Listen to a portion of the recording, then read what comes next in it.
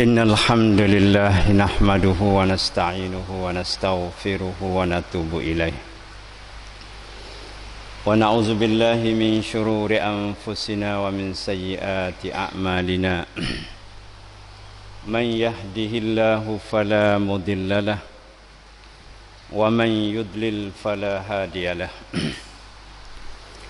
أشهد أن لا إله إلا الله وحده لا شريك له واشهد ان محمدا عبده ورسوله اللهم صل على محمد وعلى اله وصحبه ومن تبعهم باحسان الى يوم الدين اما بعد فيا ايها المسلمون اوصيكم واياي بتقوى الله فقد فاز المتقون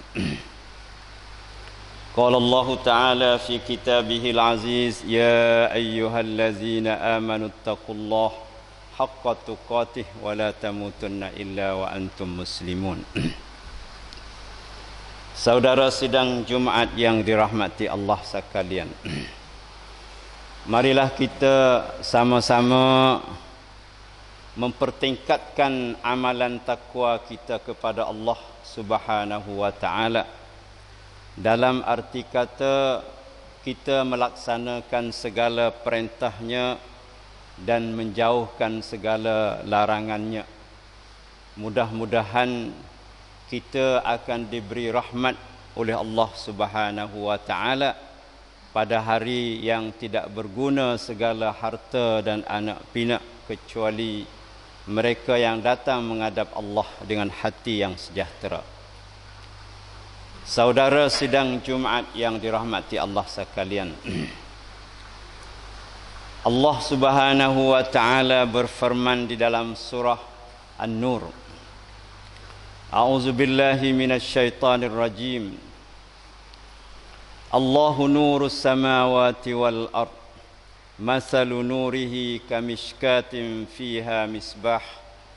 Al-misbahu fi zujajah az-zujajatu ka'annaha kaukabun durriyun yuqadu min syajaratin mubarakatin zaitunatin la syarqiyatin wala gharbiyah. Yakadu zaituha yudhi walau lam tamsas hunar nurun ala nur yahdillahu linurihi man yasha'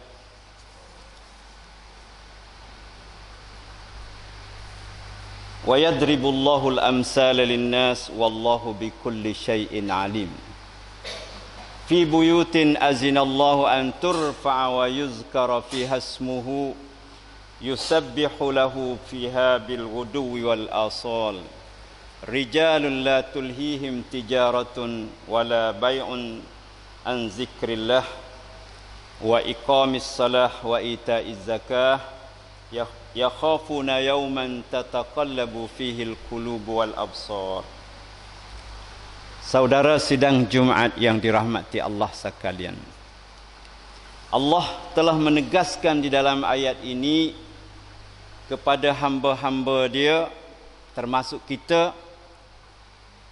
Allah lah yang menyinarkan segala yang berada di langit dan yang berada di bumi Allah lah yang mengaturkan segala urusannya yang ada di langit, yang ada di bumi. Nah.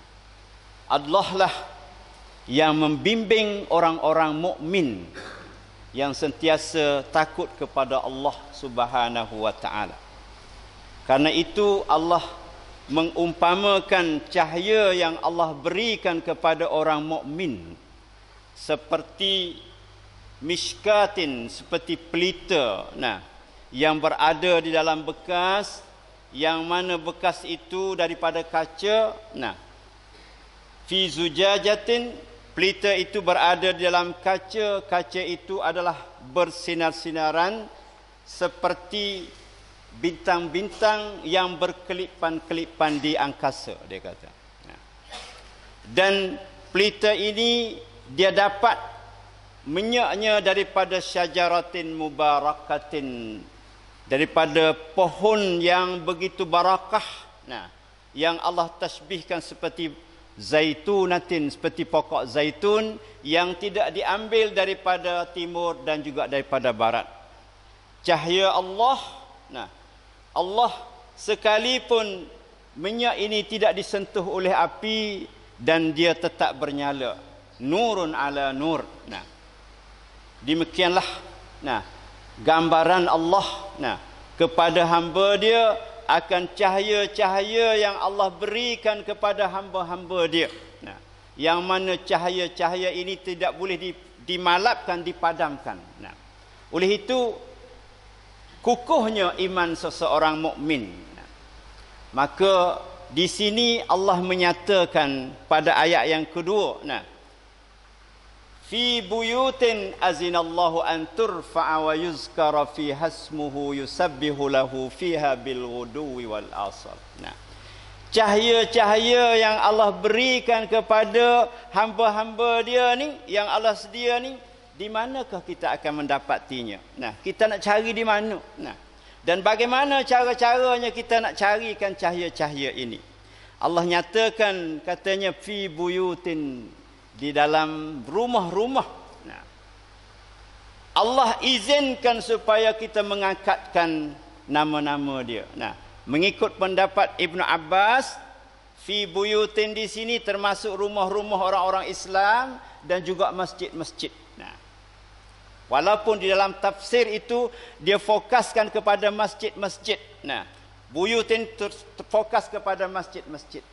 Ternyatanya di sini kalau kita lihat sejarah perkembangan Islam masjid semasa permulaan Islam Nabi sallallahu alaihi wasallam mendidik sahabat-sahabatnya melalui rumah-rumah bukan melalui masjid-masjid. Nah, Rasulullah sallallahu alaihi wasallam memperdengarkan wahyu-wahyunya kepada sahabat-sahabatnya melalui rumah-rumah, berhimpun di rumah-rumah bukan berhimpun di masjid-masjid. Nah, selama 13 tahun Rasulullah sallallahu alaihi wasallam menghidupkan cahaya-cahaya yang begitu bersinar ke dalam jiwa-jiwa para-para sahabat dia. Baik yang laki-laki maupun perempuan. Nah, sebab itulah kita lihat di dalam surah uh, kata Nabi Nuh alaihi salam daripada surahnya dia kata rabbi ufirli wali walidayya waliman dakhala baiti mu'minan. Nah, ya Allah ampunkanlah kepada aku dan kepada dua ibu bapa aku dan kepada orang-orang masuk dalam rumah dia. Nah. Dan juga daripada satu ayat lagi dia kata inna kunna qablu fi ahlina musfikin. Nah. Sesungguhnya kami semasa kami hidup di, di dalam dunia dulu kami di dalam keluarga kami terlalu berpesan di antara satu sama lain berzikir kepada Allah, takut kepada azab-azab Allah, takut kepada neraka-neraka Allah. Itulah yang dihidupkan di dalam rumah-rumah orang-orang Islam. Nah, berartinya dalam ayat ini fi buyutin azinallahu an turfa'a wa yuzkara fi hasmuhu yusabbihu lahu fiha bil wudu'i wal asal kita perlu membentukkan suasana-suasana rumah kita Pertama kita betulkan suasana-suasana rumah kita supaya jadi rumah-rumah Islam. Rumah-rumah yang dihidupkan dengan zikrullah, dengan halakah-halakah ta'lim. Dengan memberi ajaran-ajaran kepada ada anak-anak kita dengan ajaran Al-Quran. Supaya kita menanamkan benih-benih Islam, benih-benih keimanan kepada anak-anak kita. Nah, dengan tanaman-tanaman iman-iman yang sahih supaya jadi anak kita ni sebagai seorang yang rijal yang boleh menegakkan Islam. Nah, tapi sayangnya, nah, masyarakat-masyarakat kita di masa ini perkara-perkara macam ini jarang kita dapat di rumah-rumah orang Islam. Nah, bahkan kita dengar-dengar di dalam rumah-rumah kita pada hari ini, nah, dengan suara-suara lain bukan suara baca Quran. Nah, kalau kita nak belajar, kita pergi cari guru-guru di masjid. Nah, tapi rumah-rumah kita tidak ada rumah-rumah Islam. Nah, kita tak salah. Kita jangan mempersalah kepada orang lain. Sebab anak-anak kita itu rusak, kita pasti persalahkan kepada diri kita dulu. Adakah kita didikkan anak-anak kita tu dengan didikan-didikan yang memberi roh keimanan, keislaman kepada anak-anak kita. Nah. 13 tahun Rasulullah sallallahu alaihi wasallam mendidik anak mendidik sahabat-sahabatnya di Mekah. Di Mekah masa tu masjid tak ada. Hanya ada Masjidil Haram, tapi Masjidil Haram dikuasai oleh orang-orang kafir, dipenuhi dengan berhala-berhala, 300 berhala lebih itu. Rasulullah tak boleh nak masuk, tak boleh nak sebar Islam dalam Mekah, dalam kota-kota Mekah dengan secara bebas. Bahkan Rasulullah di apa dipakat untuk membunuh dan menghalaunya. Nah, kita lihat bagaimana Rasulullah mendidikkan anaknya. Sejarah mencatatkan nah bahawa Sayyidina Umar radhiyallahu anhu sebelum dia memeluk agama Islam ketika dia mendengar adiknya Fatimah telah memeluk agama Islam dia segera pergi ke rumahnya untuk nak membunuh suaminya tetapi setelah dia buka pintu, kalaulah di dalam rumah Fatimah tu sedang menyanyi lagu, dia menyanyi bersama. Tapi di dalam rumahnya tu Fatimah dia sedang membaca Al-Quran, sedang membaca surah Taha. Taha ma anzalna 'alaikal Qur'an litashqa illa tazkiratan liman yakhsha. Tanzilan mimman khalaqas samawati al-ula. Ar-Rahmanu 'alal 'arsy istawa hingga sampai akhir ayat. Nah. Jadi di sini apabila Saidina Umar mendengar adiknya membaca surah Tauha Al-Quran itu memberi kesan kepada jiwa yang seorang yang garang, yang baikan nak pergi tujuan nak bunuh tapi tak boleh nak buat apa kerana Islam Al-Quran memberi kesan kepada dia. Nah, kita nampak Al-Quran baca begitu tapi dia mempunyai power yang kuat, mempunyai tenaga yang kuat yang boleh mengubah orang kalau kita benar-benar mempelajari Al-Quran. Tapi oleh kerana kita kita dengar supaya dengar orang kecek perjalanan maka kita tak ada kesan Al-Quran. Nah, sebab tu kita kena mendidikkan diri-diri kita, menjinakkan diri-diri kita supaya kita mempelajari Al-Quran bukan sekadar baca saja nah. Nah, kita pasti mempelajari, memahaminya, menghidupkan Al-Quran dalam jiwa kita barulah kita jadi orang Islam. Nah, yang sebenarnya. Nah, tapi kita sekarang ni kita sekadar baca saja memahami tak ada baca pandai tapi apabila praktikal petibat belaga dengan al-Quran. Ini kita sayang sekali cukup cukup sedih sekali masyarakat-masyarakat kita. Sedangkan al-Quran inilah yang mana dalam hadis Rasulullah sallallahu alaihi wasallam dia kata innal buyut allati yaqra fiha al-Quran la tudi'u li ahli sama kama tudi'u ahli sama li ahli al-ard nah dia kata rumah-rumah yang dibacakan Al-Quran itu akan memberi cahaya kepada penduduk-penduduk langit sebagaimana cahaya daripada langit menurun kepada bumi. Nah. Qala wa innal buyut allazi la yaqra fihi al-Quran la yudayyiqu ala ahlihi. Sesungguhnya rumah-rumah yang tak baca Al-Quran itu membuat masalah kepada keluarga dia. Nah.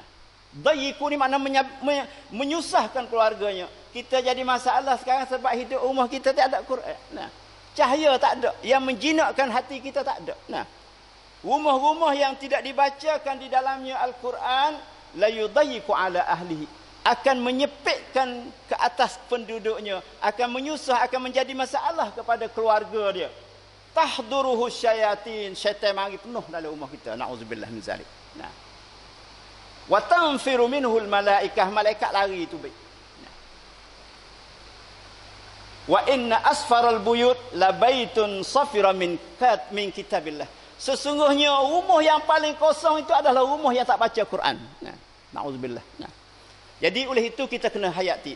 Kalau kita tengok orang-orang dulu kan semasa saya duk jadi tok pakir dulu jadi budak ngaji kat pondok tu nah kita dengar rumah-rumah orang Islam semasa tu tu elektrik tak ada. Nah elektrik tak ada wifi ni tak ada. Rumah-rumah kita dengar gapo lepas semaya mengerik nah kecek pasal kampung kita? Nah Dengar orang tua duk hajar anak baca alif bota, baca Quran, baca qul a'udzu birabbin nas. Tapi sayang sekali hari ini apa rumah kita dengar? Nah, tak saya tak, tak saya payah sebut. Kita tanya diri kita, gapo dalam rumah kita lain dia dengar?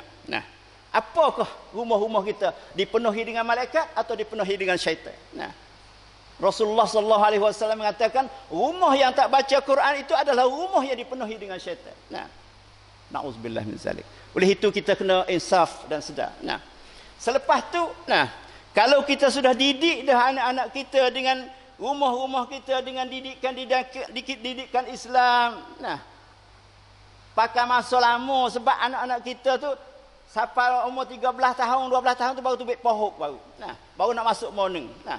Tapi kalau dia dah benih dididikkan dengan didikan Al-Quran, anak-anak kita tak liarlah. Nah. Hatta pergi sekolah masuk morning tak larilah. Apabila ustaz suruh masuk semaya zuhur, pakat masuk dalam masjid. Ni sekarang ni kita tengok anak-anak kita bila pergi sepatu sepatu semaya pakat lari, tak saya semaya, lari. Nah. Ni hak reality, hakikat. Nah. Saya duk ngajar di sekolah di kampung saya. Nah. Hak kecil-kecil tu tak masuk masjid. Nah, lari dulu kira. Nah, ini kita tak boleh salah dia. Karena salah kita lah. Sebab kita tak ajar dia. Kita tak didik dia dengan Quran. Sedangkan Al-Quran Islam ni suruh hajarkan anak-anak kita semaya apabila umur tujuh tahun. Dan apabila cukup sepuluh tahun tak semaya lagi rotel. Pukul dia. Nah, ha, tu. Tapi adakah kita tanya, adakah kita laksanakan ini? Sebab dalam rumah kita tu kena contoh, kena beri contoh tauladan. Sesungguhnya contoh tauladan itu memberi kesan kepada anak kita. Nah, bukan kata-kata. Kata-kata tak beri kesan kepada anak kita. Sebab kita janji kadang-kadang hari ini janji sening, esok janji selang. Tapi kalau kita beri contoh baik, kita semaya, kita baca Quran, kita ajak kita pergi masjid, anak-anak kita akan turut ikut ilmu psikologi. Anak-anak laki-laki apabila umur 3 tahun, dia suruh ibu yang turut pak dia. Apabila umur 3 tahun, anak perempuan dia ikut mak dia. Sebab itulah kita tengok dalam buku-buku yang ayat, bahkan dalam realiti hak berlaku lah ni, kalau anak tina tu dia suka duduk ke dapur. Nah, suka tengok mak dia. Kalau anak yatim ni dia suka tubik luar sebab pagi-pagi ayah dia tubik luar heret lembu pergi kanu. Turut ayah dia. Nah, tu kita tak boleh tunjuk kau-kau lagu tu. Nah, tunjuk boleh tapi tunjuk hak molek lah. Nah tu. Lepas lah baru kita fi buyutin azinallah barulah tubik ke masjid. Suasana dalam rumah ni serupa dengan suasana dalam masjid. Aktiviti kecakam dalam masjid tu serupa dalam dalam rumah kita. Sebab kita didik dah. Kita buat dah orang, buat dah anak kita. Barulah anak kita tu tak liar dengan masjid. Nah, tubik ke jalan kita ni tak terpengaruh dengan apa tarikan-tarikan yang memperdayakan manusia sekarang ni. Kita learning ni tarik ke tarik ke banyak yang rusakkan anak-anak kita. Bukan rusak kita, rusak anak kita. Kita dah mikir dah besar dah. Tak dah tapi anak-anak kita ni banyak syaitan-syaitan nak ambil. Jin-jin nak cari nak ambil. Nah tu. Banyak learning. Nah tu. Oleh itu, nah, kita didikkan anak kita apabila kita jadi dah anak kita dengan didikan di rumah, dia tak akan terpengaruh dengan dengan pengaruh-pengaruh di tepi-tepi jalan. Dia akan pergi ke masjid. Apabila dia dengar suara-suara azan di masjid dia akan pergi. Sebab ayah-ayah pergi sama. Nah tu. Apabila kita didik didik aku tu nah barulah kita jadi orang yang bahagia yang apa yang yang boleh uh, apa uh, tenang hati. Tak ada jadi apa tak jadi tak jadi serabut bro sebab kita nak baca dalam doa dia katakan Rabbana hab lana min azwajina wa zurriyatina qurrata a'yunin waj'alna lil muttaqina imama. Ya Allah berikan kepada aku isteri-isteriku anak-anakku saat itu qurrata a'yunin. Ya wasa sejuk tengok dia. Nah. Apabila kita tengok dia wasa sejuk tak ada wasa serabut. Nah, nah. Dan jadikanlah waj'alna waj'alna lil muttaqin dan jadilah aku ni kepada orang-orang baik-baik itu jadi iman jadi pemimpin. Nah. Tu ajar dalam doa Allah ajar kita. Maknanya kena bekti diri kita ku anfusakum wa ahlikum nara. Bekti diri kamu Lepas tu barulah boleh bekti keluarga-keluarga kita daripada api neraka. Selamatkan diri kita dulu. Mana kita kena jadi tuayang dulu. Kena jadi jadi model dulu kepada anak-anak kita. Barulah anak kita ikut kita. Nah, Saudara sedang Jumaat yang dirahmati Allah sekalian. Kesan Al-Quran penting sekali. Nah, kita mendekati Al-Quran ini penting sekali. Nah. Allah Subhanahu wa taala nah mengatakan Ya ayyuhallazi ya ayyuhan nas qad ja'akum mau'izatun min rabbikum wa shifaa'un lima fis sudur wa hudan wa rahmatun lil mu'minin. Nah, dalam ayat ni surah Yunus, nah, ya ayat Quran ni berperanan mi fungsi mi mi apa? Mingan dia siang dia. Quran ni. Yang pertamanya Quran ni mau izah. Maknanya kena dengar nasihat Quran. Nah, mau izah ni orang nak win nasihat kepada orang ni dia kena baiki diri dia dulu. Nah, kalau kita win nasihat kepada orang dia tak baiki orang dia dulu, tu orang tak panggil tak ada tak ni nasihat. Nah, jalan tak betul dah. Kita nak orang jalan betul ke mana? Mau izah mirab Tuhan saat ni dia tahu ya buat kita. Nah, dia tahu kata manusia ni ada penyakit sebab tu dia katanya wasyifaun lima fis sudur. Quran ni boleh menyembuhkan penyakit-penyakit duduk dalam dada kita. Nah, kita tak nafi penyakit dalam dada kita banyak sekali penyakit deki, penyakit ujub, penyakit takabur, penyakit dek, semacam-macam penyakit. Nah, penyakit-penyakit ni syaitan pisah nak masuk. Nah, tu. Lepas tu apabila kita dengar Quran, Quran ni boleh beki kita. Wa nunazzilu minal Quran ma huwa syifaa'un wa rahmatun lil mu'minin dalam surah Isra'. Aku turun Quran ini tak ada tujuan lain untuklah syifa untuk memberi sembuh penyakit rahmatun lil mukminin. Jadi rahmat kepada orang mukmin. Nah. Lepas tu apabila sembuh dah tu, penyakit sembuh dah tu ya mari hudan. Ya ketiga ni mari hidayah. Hidayah ni tak akan hil tak akan mari sama kita selama mana kita ada penyakit dalam dada. Nah. Cuba tanya kita. Nah. Bo kita dengar orang band. Hayya 'alas salah, hayya falah. Wasa nak pergi ke tak sejid? Kalau kita rasa nak pergi tu penyakit kita tak ada. Nah. Tapi kalau kita tak segi kita dengar penyakit kita ada. Nah. Penyakit macam-macam. Dosa banyak penyakit juga tak segi. Sebab tu kita tak dengar Quran. Wahudan, mari hidayah. Apabila hidayah tu hidayah ni ada dua. Nah. Hidayah hak Nabi royak. Nah. Hidayah daripada Allah. Hidayah daripada Nabi tu Nabi cinek saja. Nabi tunjuk ni jalan syurga, ini jalan neraka. Tapi hidayat taufik ni daripada Allah. Nak dapat hidayat taufik ni kena buai penyakit tu dululah. Baru boleh. Nah. Innal ladzina amanu wa amilus solihat yahdihim rabbuhum biimanihim. Allah katanya, orang-orang beriman dan orang-orang yang beramal soleh Allah bimbingkan mereka dengan iman-iman mereka. Nah, Allah nak ajak lagu mana iman kita tak ada. Nah, orang panggil kata hayya 'alas salah ayal falah email kita sikit ya tak gi tak gi tak gi ni hak lain nah sebab tu yahdihim rabbuhum biimanihim Allah bimbingkan mereka itu oleh Tuhan mereka dengan iman-iman mereka. Iman ni kena buh. Nah, bukan kata iman ni kena makan. Tak, iman ni kena bubuh. Bubuh iman ni dengan Quran. Dengan nasihat-nasihat agama. Nah, dengan hadis-hadis Nabi. Bo ada hidayah tu, ya mari hudan, ya mari rahmatun, mari rahmat lah. Bo kita hidup dah dalam rumah kita dengan hidup-hidup Islam, rahmat marilah, tak ada masalah. Rahmat-rahmat ni Allah beri rahmat, Allah beri nikmat dalam kita. Kita sudah baca dalam Quran, Allah ayat kata wa atakum min kulli ma sa'altumuh. Aku beri belaka hak minta. Nah, wa atakum min kulli ma sa'altumuh. Aku beri belaka hak minta. Nah, Wa in ta'uddu ni'matallahi la tuhsuha. Kalau mu nak bila nikmat-nikmat Allah hawi kepada mu tu, mu tak habis nak bila. Tapi Allah kata innal insan la zalumun kafar. Manusia ni zalim dan tidak syukur kepada Allah. Kufur. Kufur ni mana tak syukur. Tuhan hawi banyak dia, hawi sehat dia, tak pergi semayat. Nah, Wi banyak dia tak pergi semayat. Nah, itulah nasihat. Jadi kita kena pergi tiga ni, empat ni. Satunya kena dengar nasihat yang kedua kena ambil Quran ni jadi ubat. Yang ketiganya kena apabila ubat dah dah menjadi dah, dah jadi apa jadi boleh boleh menyembuhkan penyakit ya mari hidayat. Apabila ada hidayat rahmatul lil mukminin. Jadi rahmatlah orang mukmin dapat rahmat daripada Allah Subhanahu wa taala dia akan bahagia. Aku lu qauli hadza wa astaghfirullah li wa lakum fastaghfiruh innahu huwal ghafurur rahim.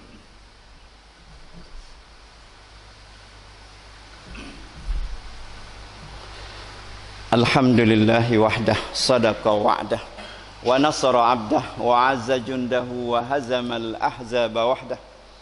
Ashhadu an la ilaha illallah wahdahu la sharika lah wa ashhadu anna Muhammadan 'abduhu wa rasuluh. Allahumma salli wa sallim ala 'abdika wa rasulika Muhammad wa ala alihi wa sahbihi ajma'in.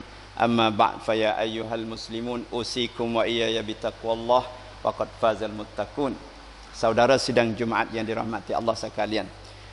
Ia tiga suasana. Satu suasana rumah, yang kedua suasana masjid, yang ketiga suasana masyarakat, masyarakat. Nah, apabila jadi rumah, sejid jadi masyarakat jadilah.